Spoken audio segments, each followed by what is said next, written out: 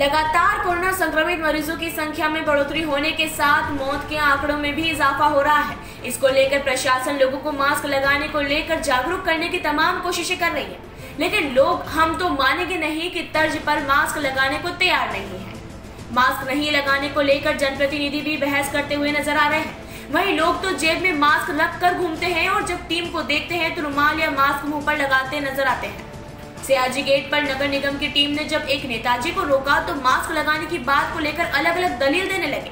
दरअसल सियाजी गेट पर भारतीय जनता युवा मोर्चा के नगर उपाध्यक्ष राकेश शर्मा को नगर निगम की टीम ने रोका। तो जनाब, टीम को नियम कायदे बताने लगे। साथ ही नगर निगम की टीम ने जब नेताजी का वीडियो बनाया तो कर्मचारी ने का मोबाइल ही छीन लिया। अब जनप्रतिनिधि ही मास्क को लेकर जागरूक नहीं होंगे तो फिर आम लोगों का क्या होगा? लगता है पहले बताओ। पहले बताओ। कौन है ऐसे लगता है क्या? अरे सुनो यार उनसे मास्क ऐसे लगता है क्या? ऐसे लगता हमने लगाया दिखा। अगर मैंने आपके किसी कार्यकर्ता का ऐसे मार्क्स में अगर फ़ोटो दिखा दिया हाँ। तो उसका चालान आप बनाओगे बना बना देंगे। हूँ जानिए आपने फ़ोटो वायरल हुआ। क्या नाम है आपका? पूरा नाम बताओ। आप पुलिस का ऊपर इल्ज़ाम लगा रहा हो हैं?